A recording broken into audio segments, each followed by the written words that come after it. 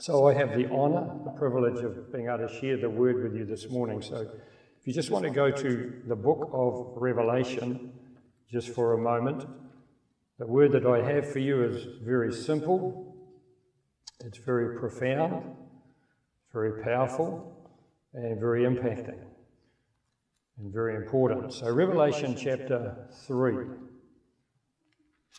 I know you are well taught uh, and well instructed in the word in this church. In the, in the chapters of Revelation, chapter 2 and chapter 3, seven churches, seven literal churches, seven existing churches are addressed in chapter 2 and chapter 3. And these are not, um, these, these, these churches are not allegories, they are real existing churches at the time. And so the last of those churches is in chapter 3 and verse coming in at verse 14. That's the, the seventh of the churches, and that's the church at Laodicea.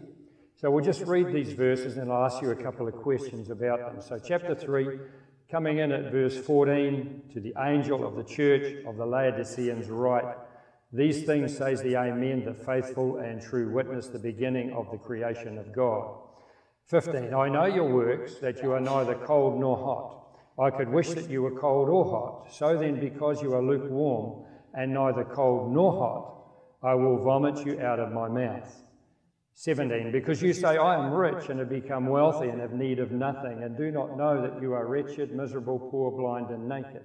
I counsel you to buy from me gold refined in the fire, that you may be rich, and white garments that you may be clothed that the shame of your nakedness may not be revealed, and anoint your eyes with eye salve, that you may see.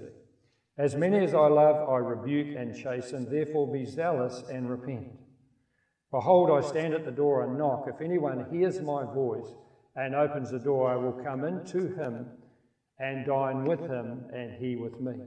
To him who overcomes, I will grant to sit with me on my throne, as I also overcame and sat down with my Father on his throne. He who has an ear, he who has an ear, let him hear what the Spirit says to the churches. So those will be verses that you're very familiar with, but let me just ask you at, uh, at, at the start here, what is there anything that stands out to you? You know, if you read those few verses, is there anything that stands out to you from those few verses? About this church or about this situation. Anything that stands out as you read that. Somebody, what's something that stands out to you from those verses? Somebody? Lukewarmness stood out to you? Okay, somebody else? I stand at the door and knock. Okay, somebody else? What stands out to you from those verses? Like, there's got to be something there that kind of like stands out to you about that situation or whoever overcomes. So the overcoming stands out. They say what they were saying oh, I'm rich. He who has an ear stands out to you. So he who has an ear, let him hear. Somebody else from this side, you're pretty quiet over here. That? To be clothed in white garments. Somebody else? He'll come in and eat with you. Very good. Somebody else? What stands out to you about those few verses?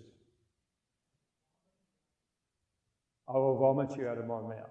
Okay, somebody's probably thinking, well, nothing stands out. Well, hopefully it will.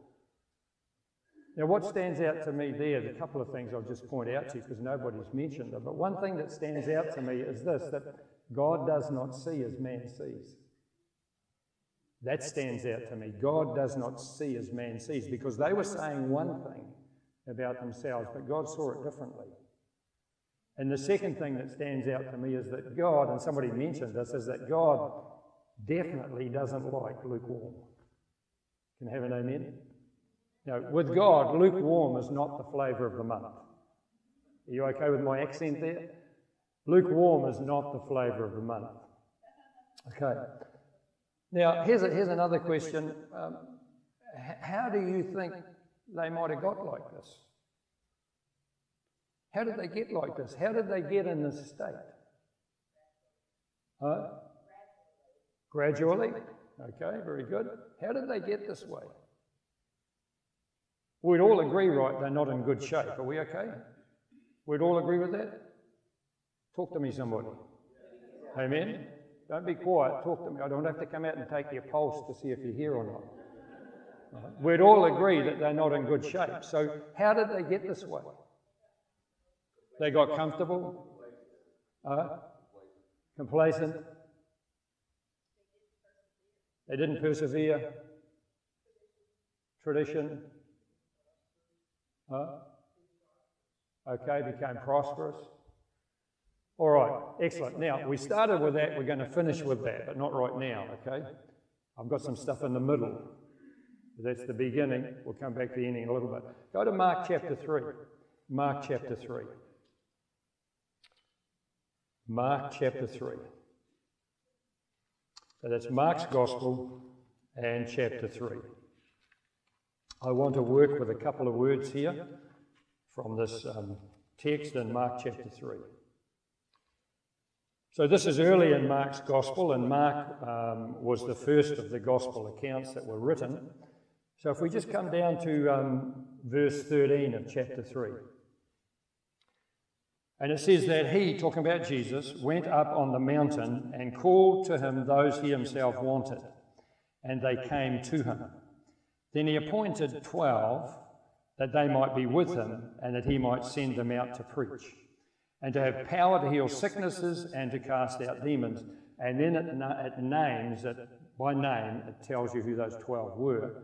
So we've come to know them as the, at the time, was the 12 apostles, the 12 disciples that were called to the apostolic role there. So he called to him those he wanted, and he appointed 12 that they might be with him, that he might send them out to preach, power to heal sicknesses, and to cast out demons. Now, us humans, we always gravitate towards, or we always seem to highlight, I get to preach. I get to pray for the sick folks. That sounds like me. I get to cast out demons. We always gravitate towards what we get to do. But if you look there, the first thing that Jesus called them to do was to be with Him. And sometimes we miss that. And so, really, from that platform or from that foundation of being with Him, good morning. From that platform of being with Him, then they get sent out to preach, pray for the sick folks, deal with the demonic, etc. But sometimes we pass right over that with Him. A couple of other translations, um, Amplified has the word continue added in there, that they might continue with him. Right? And um, Dr. Wuest, from his translation and his um, commentary on Greek words on the New Testament, he says that the verb denotes continuing action. And he translates it that they might constantly be with him. Because that verb there is continuing action, that they might constantly, Amplified uses the word continually, be with Him. Are we okay? With Him. Now, I looked through different um, study Bibles that I've got access to, I looked through different commentaries, and a lot of the newer stuff just passes right over those two words with Him.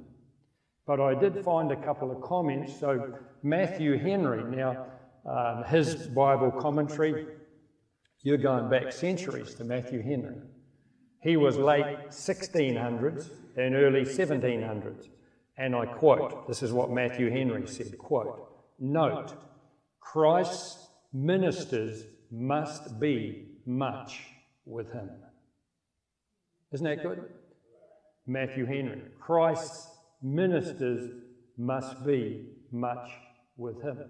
Now, a lady in, the, in our church family who's much more computer literate than I am, she looked up some stuff and she gave me this.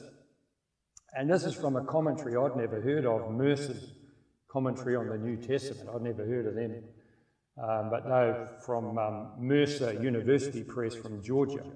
So it's the Baptist people. And this is the comment they had on that. It said, In the ancient world, it was thought that a disciple could not properly carry out the instructions of the teacher without first spending a great deal of time in the teacher's presence. Isn't that good?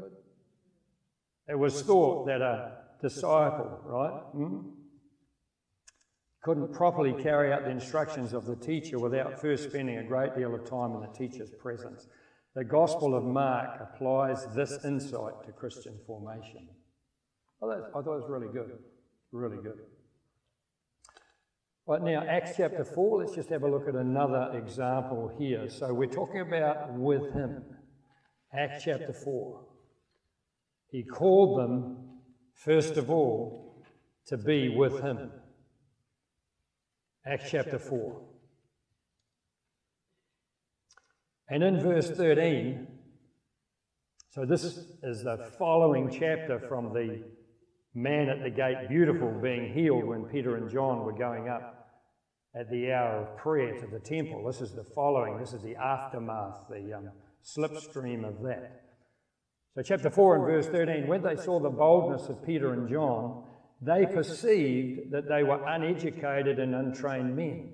But they noticed something. See, they marveled and they realized that they had been. Where? Where? Everybody, are you here this morning? Where'd they been? With Jesus. How many of you are parents? You have children. You've had children. You have children. You're parents. You're a mum. You're a dad. You're parents. Okay? Uh, we have four. Right, we have four, so our, our youngest will be 27 this year. Our oldest will be um, 38 this year. So we have four children, so we we've, we have done and are doing the dad and mum thing. Now, how many of you parents know, okay, you could tell, you know, you knew who your children had been with. Come on, put your hand up. You could tell who they'd been with. Amen? Put your hand up. You knew. They come home, they've been out somewhere, they've been out on a whatever, they've been out staying with somebody, been out someplace, whatever. But when they come back into your presence, you could tell who they'd been with. Now, that's either positive, can I have an amen, or negative. But you could tell who they'd been with. Amen? So they could tell these, these here in Acts 4 that the scripture I showed you had been with Jesus. Now, how many of you um, can remember the father of modern day men's ministry, Dr. Edwin Lewis Cole? Who can remember Dr. Cole? Dr. Edwin Lewis Cole. Okay, he's from your country here. Um, now, who, who's heard of Christian Men's Network? Anybody? Okay. Now, his book that really kind of put him on the map was called Maximize Manhood. Anybody heard of that? Maximize Manhood, Dr. Edwin Lewis Cole. All right, so he's the father or the founding figure of the um, modern day men's movement. He was like a, kind of like a John the Baptist, if you like, a forerunner. Promise Keepers came out of, um, um, they had connections with Dr. Cole. So I think that um, Dr. Cole went to heaven, I think it was 2003, the same time as Brother Hagin. I think the same year from memory. Sure, I got to know Dr. Cole, but let me just tell you the story what happened. So back in the, in the late 1980s when Christian Men's Network was started, we had a connection with a um, Bible training centre in uh, Dallas, Fort Worth. And they sent us the videos, the old videotapes. They sent us the videos of Dr. Cole ministering there in this Bible school. Uh, and he did a like a seminar on maximize manhood. So I went on for about, I think there like four or five sessions, and they sent us the videos from that. So I got to sit down and watch for the first time Dr. Edwin Lewis Cole, Maximize Manhood, and it was great. It was fantastic. He was a great guy. Now, what happened then was Christian Men's Network came to New Zealand. We got our church to be part of it. Okay, so we joined up with it, and we get a, a, a video every month from Dr. Cole. Every month we get a new video as part of Christian Men's Network. Then I got to see his books. I got to read his books, Maximize Manhood, Courage, the book Courage. Courage, um, he printed Courage with a um, military camouflage cover and all of your soldiers from the US that took part in Desert Storm got a copy of Dr. Cole's book, Courage. All of your soldiers in Desert Storm got a copy of that book.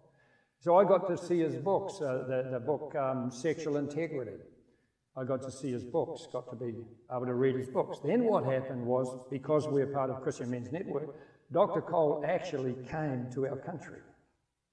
He came to our country. And he did some men's meetings in our country. And he actually came to our city and did a men's meeting in our city. So I got to go from the videos, I got to go from that to the books and then to the meetings. And when Dr. Cole came to New Zealand, I would fly to every, wherever the meeting was and be part of that meeting. Now, the last time he came to New Zealand, they called me and asked me, Would you like to be part of the team that travels with Dr. Cole? So now I've gone from the videos to the books to the meetings. Now I get to travel and be with Dr. Cole. And uh, uh, uh, shortening the story, he became a spiritual father to me. And I got to, uh, in New Zealand, we went into three different cities. He would ask us up before the meeting to kneel around his bed in his hotel room and pray with him before the meeting. Then in the year 2000, he, he used to do the meetings here in the US called Lions Roar. And a whole bunch of guys would turn up. But in, in the year 2000, he did something called the Heart of the Lion. The Heart of the Lion. And you had to have a personal invitation to go to that. And he called me up and said, Colin, I'm inviting you. Come be with me in Dallas Fort Worth. Come be part of the Heart of the Lion. So on the Sunday, we went to the church that his son Paul had just started, and then he invited us home for lunch. So I got to be with Dr. Cole in his house, just a few of us. Very precious memories. Now, why am I telling you that? I'm telling you that for this reason. Praise God for the videos. Praise God for the books. Praise God for being able to be in the meetings.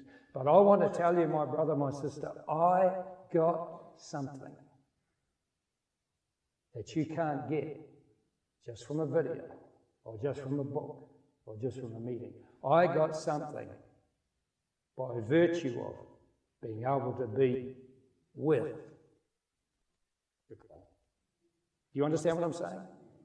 I got something by virtue of being able to be with Dr. Cole that you couldn't get from a book, praise God for books that you couldn't get from a video, praise God for that, that you couldn't get from a meeting. I got, I got to get something from Dr. Cole because I was able to be, finish the sentence, I was able to be with him. Other than immediate family, I've had two men, men kiss me. One of them's an old bishop from Australia, and the other was the last time we were together, and Dr. Cole kissed me. Now, one of the greatest, um, how can I put this? One of the greatest compliments that I've ever been paid in ministry. Now, people say stuff all the time. Now, words are cheap and very often shallow. But one of the greatest compliments I personally have ever been paid in ministry, and this is our 35th year of ministry, is in 2010, 2010, and it was in Dallas Fort Worth at ICFM convention. And that was the first opportunity I got to do a workshop was in 210. Okay. So I got to do a workshop. And after my workshop at ICFM, a pastor was waiting to see me. I, am from New Zealand. I've never met this man before. Uh, we're, we're complete strangers. But he's waiting to talk with me. And this is what he said to me. He said, uh, he asked me, what's your schedule? I told him, he said, I want you to come and preach in my church. He said, I will organize whatever it takes to get you there. Wednesday night service, we could do that. And this is what he said to me. I'm like, I'm like really amazed. Like, I'm a stranger. You want me to come and preach in your church? And this is what he said to me. He said, I can tell that you have been with Dr. Cole. And that's seven years after Dr. Cole's death. So I want you to come and preach in my church. I'll organise it. He said, I can tell that you have been with Dr. Cole. That's one of the greatest compliments that I have ever been paid in ministry. See, a lot of people say stuff, a lot of people claim stuff. When Dr. Cole was um, like riding the wave of international success, quote unquote, he told us, he said, Many people say that I'm their spiritual father. But he said, they just use my name for their publicity. DNA is the proof of paternity. Can have an amen? And you can only imbibe DNA, and you get that by being with somebody. Is that a good example? So, what am I saying? Praise God for Christian television. Praise God for books. Praise God. We, we do it all. Praise God for that. But there's some things that you can only imbibe by being with Him. Amen? How is your with Him?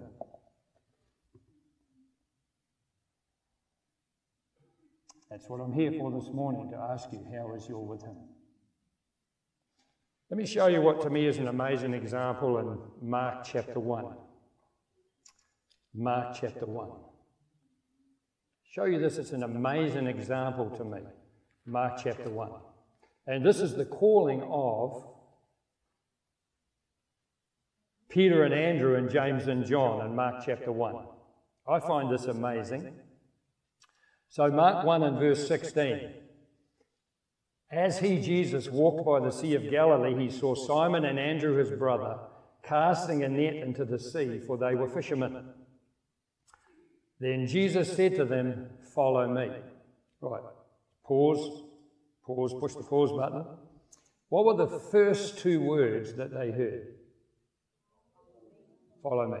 So, according to Mark's account now, here's a stranger walking around the shore. They are fishing, casting their nets into the sea, and the stranger speaks to them, and the first words they hear is, Follow me. Okay. Now, they did that. They left their nets, it says that there, and they followed him. So that following went on for about three and a half years. So that's like three and a half years compacted ministry training school. Are we okay?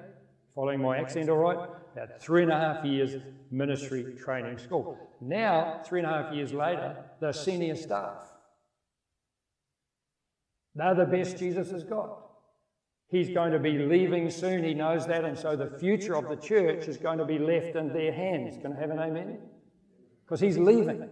Sure, he's going to send the Holy Spirit, but he's leaving. And so these 12, minus Judas now 11, get, the church is going to be left in their hands. So they are senior staff. They're the best he's got. Three and a half years with Jesus. They've been preaching, they've been casting out demons, they've been praying for the sick themselves.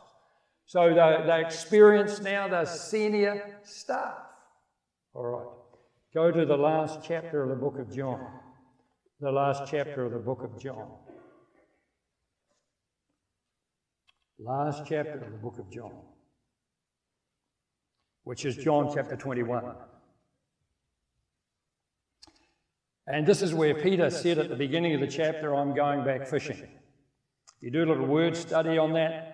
Uh, here's from here's verse 3 from Wuest. Simon Peter says to them, I'm going off breaking my former connections to my former fishing business. I'm going back. Of course, Jesus comes, stands on the shore. He asks Peter those uh, three times, Do you love me? Remember that? Do you love me? Peter, do you love me? Okay, now come down to um, verse uh, 19. So for 18, he tells Peter how he's going to die. But come down to verse 19. This he spoke, signifying by what death he would glorify God. And when he had spoken this, he said to him,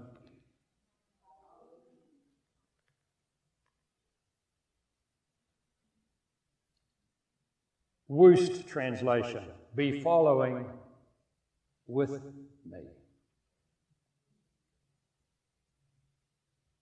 So, verse 19, he spoke, signifying by what death he would glorify God. When he'd spoken this, he said to him, Follow me, or Wuest translation, be following with me.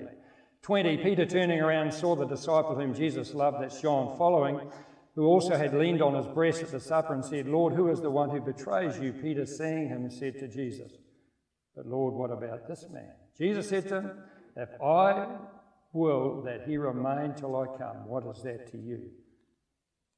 You. Everybody, you follow me. What's the first words to Jesus of Jesus to Peter? What's the last word? Be following with me. So here you've got three and a half years senior ministry, experienced a whole lot of things, the best Jesus has got,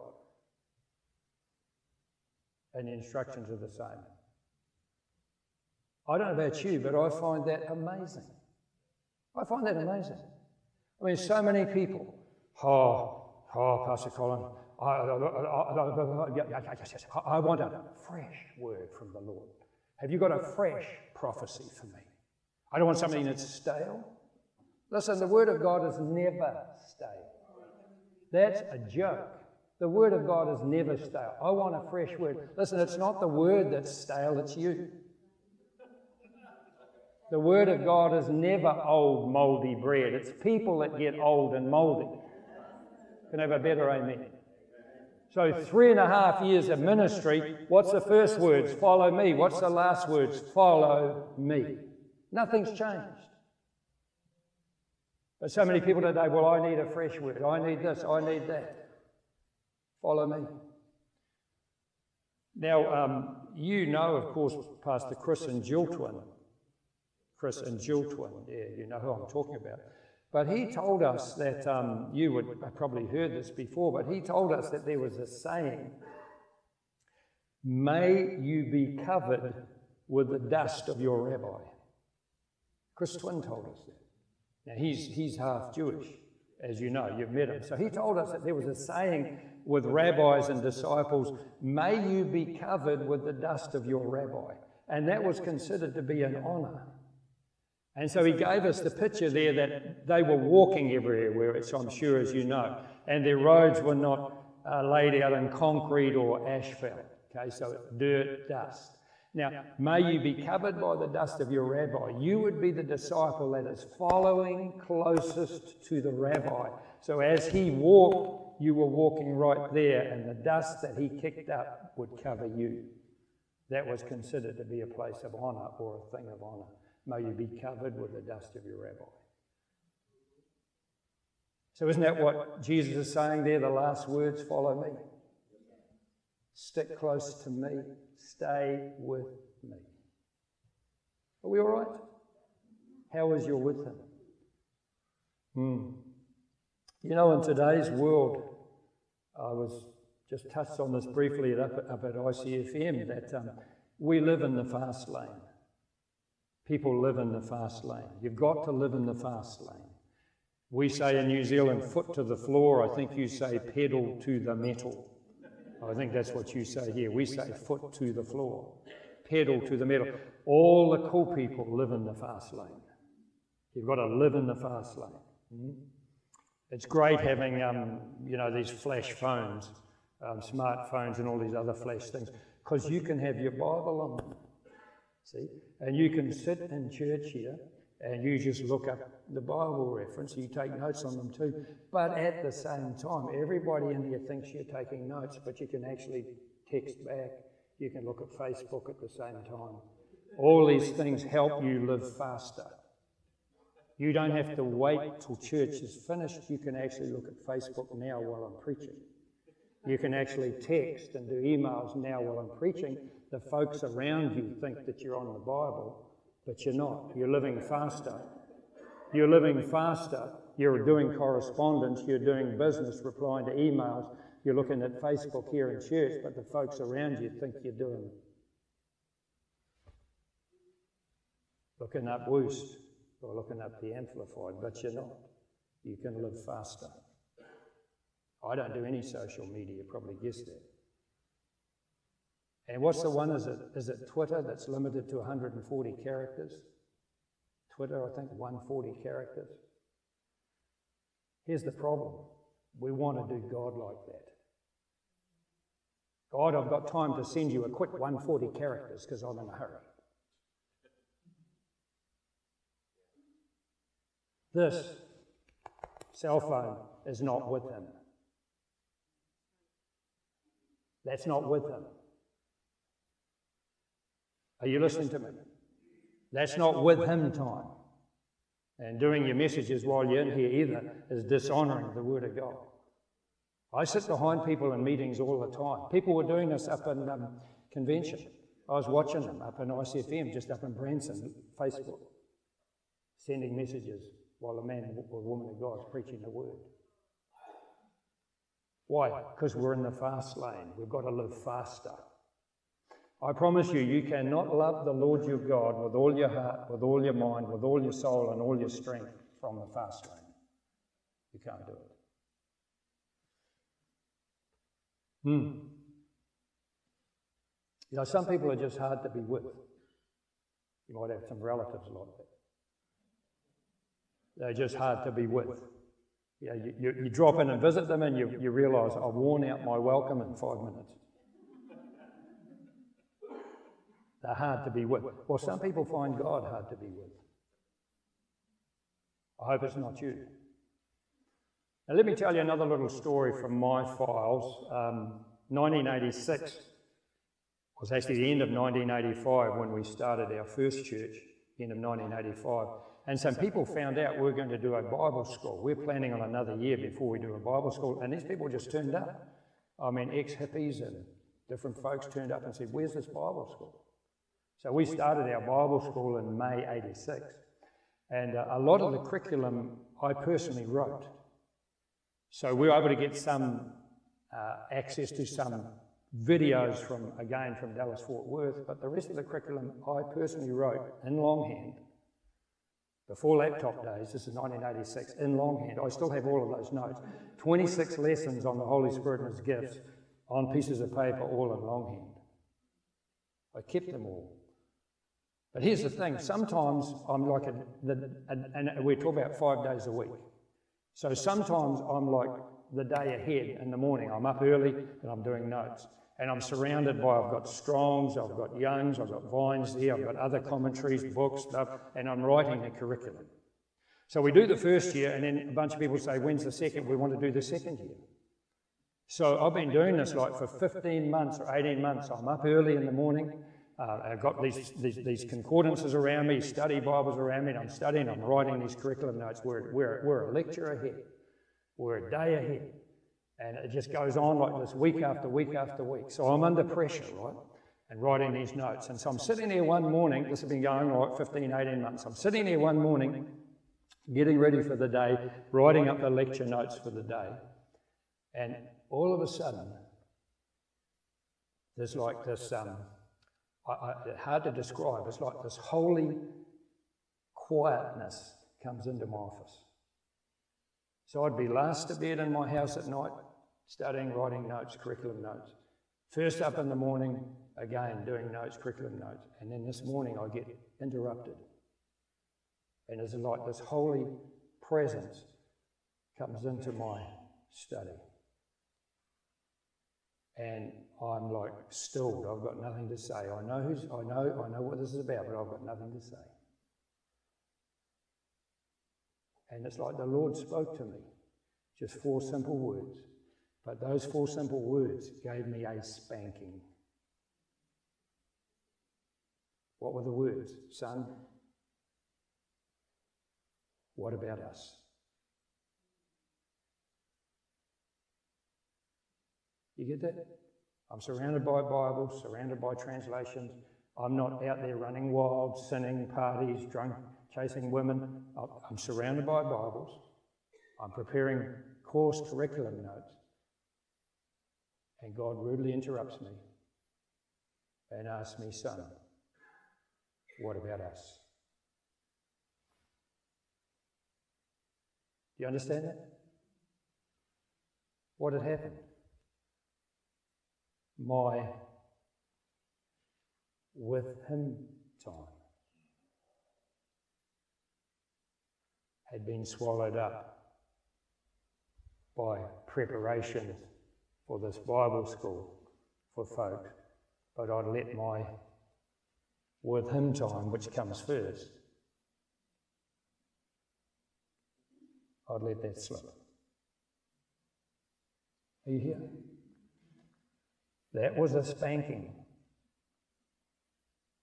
I had to deal with that. Mm. I didn't appreciate it at the time. I've got, I've got notes to write. I've got curriculum. I've got students waiting for lectures. Now, with him, really does take care of everything else. Uh, you, you, you, you, you deal with people, you get disappointed, you get discouraged. These things are normal to life. We know from Corinthians that nothing happens to us that's not common to man. Test, trials, temptation. So we deal with busy schedules, we deal with all kinds of things. But you know, this with Him really takes care of everything. If you're discouraged, you've been disappointed, with Him makes all the difference in the world. Yeah, you need some counsel, you need some wisdom on something, with Him makes all the difference in the world. You struggle to walk with people, listen, if you walk with Him, you can walk with the folks. Isn't that right? You walk with Him, you can walk with the folks. So, this whole with Him thing really does take care of everything else anxieties, concerns, stress, blah, blah, blah, blah, blah, the list. But with Him changes everything. Isn't that right? Remember, just, just a quick Bible example. Remember David? And uh, he was living as a Philistine vassal, and they'd given him Ziklag. Philistine lords had given him Ziklag, and him and his men were living in Ziklag. He marched out to war. The other Philistine lords said, We don't want him part of this battle. He could turn on us. They march back. They get back three days out, three days back, and Ziklag has been burned with fire. Everything gone.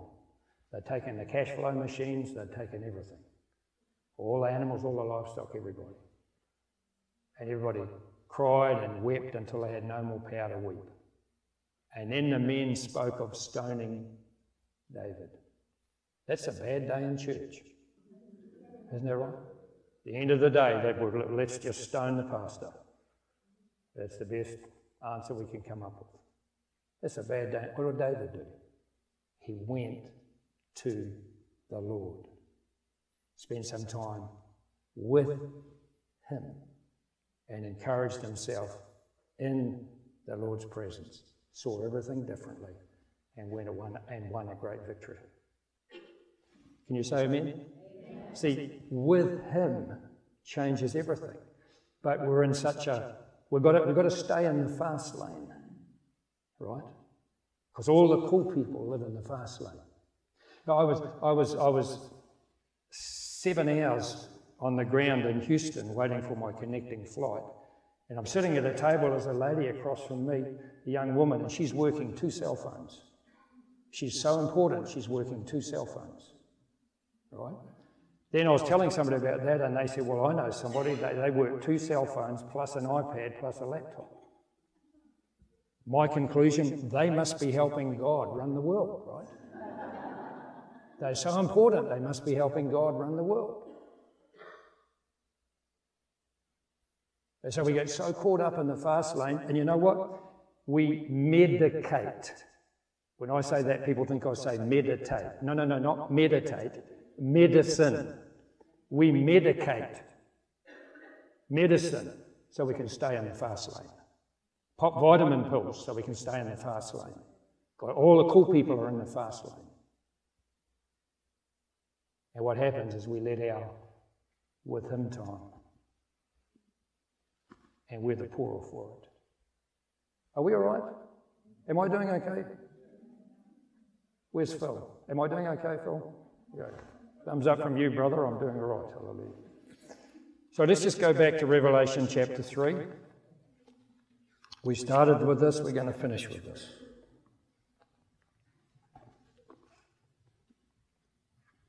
Revelation chapter 3.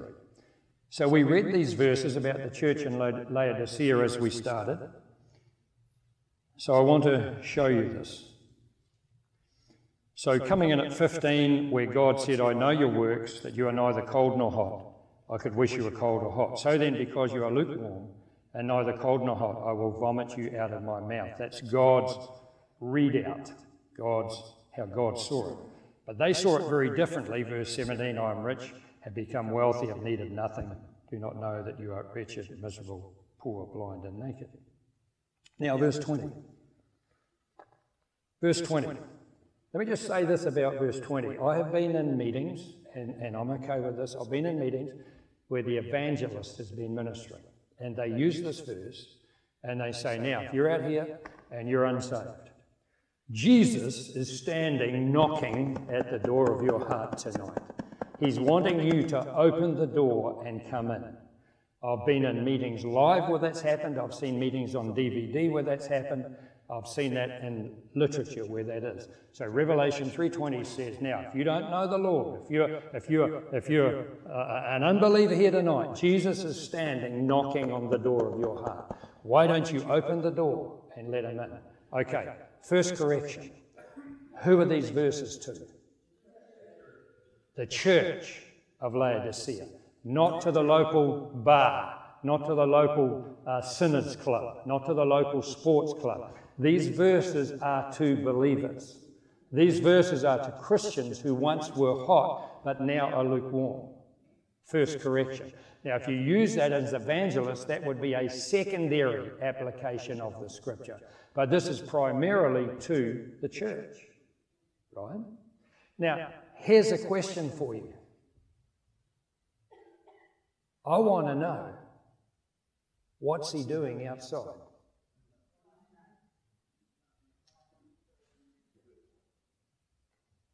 What's he doing outside, my brother, my sister? Doesn't the church belong to him? Didn't he purchase this with his blood? Doesn't isn't he the Lord and head? Isn't it his church? Well, why is he outside? I promise you, when you get home from this meeting, drive up to your door, and you arrive at your house, you're not going to come up to your front door at the front door of your house and the neighbours see you doing that, they'll think you're crazy. What? It's your house. You just go up and you open the door and walk in because it's your house. Why is Jesus outside and why does he even have to knock? Think about it. How do you get that way? Well, it's in verse 20. Hmm? Let's read it again. Behold, I stand at the door and knock. If anyone hears my voice and opens the door, I will come into him and dine.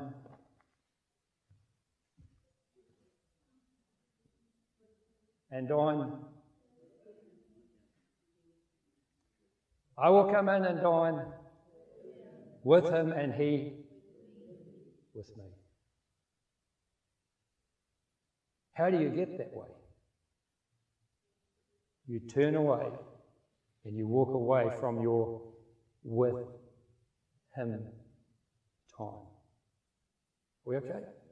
And you can see that's exactly what they've done here, verse 20. I stand at the door and knock, church. If anyone hears my voice and opens the door, I will come into him and dine with him. The with him time. And he will dine with me. Can you see that? With Him. So, how do you get lukewarm? How do you get in this state?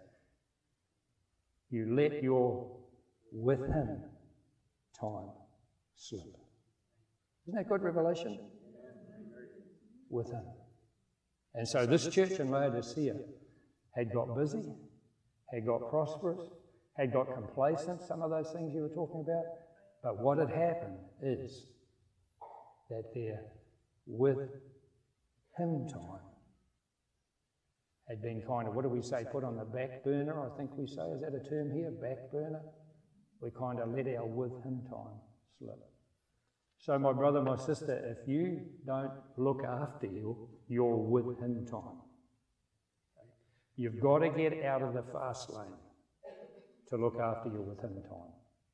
You've got to. But if you don't look after your with Him time, lukewarmness is coming to your house.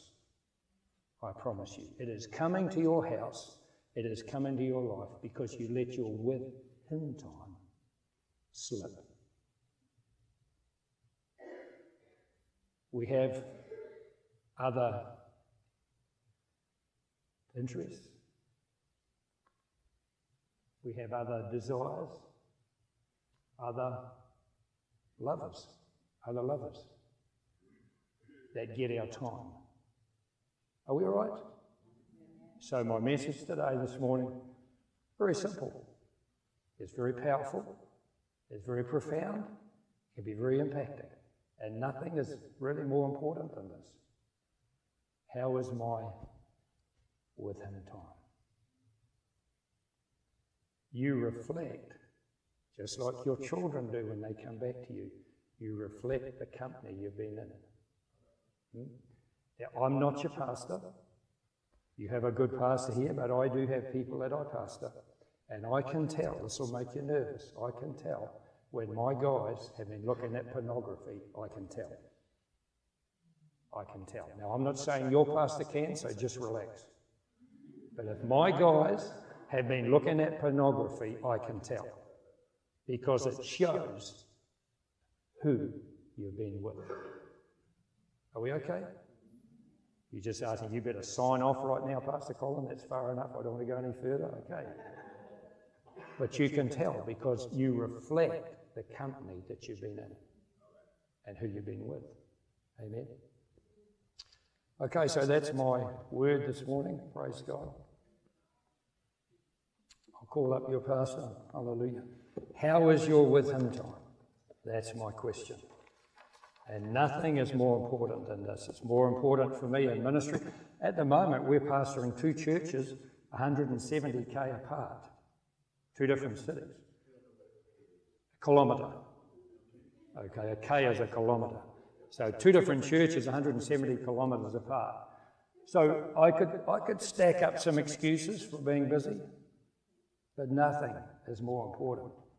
Nothing is more important than my with Him time. Amen? Amen. Okay, God bless you.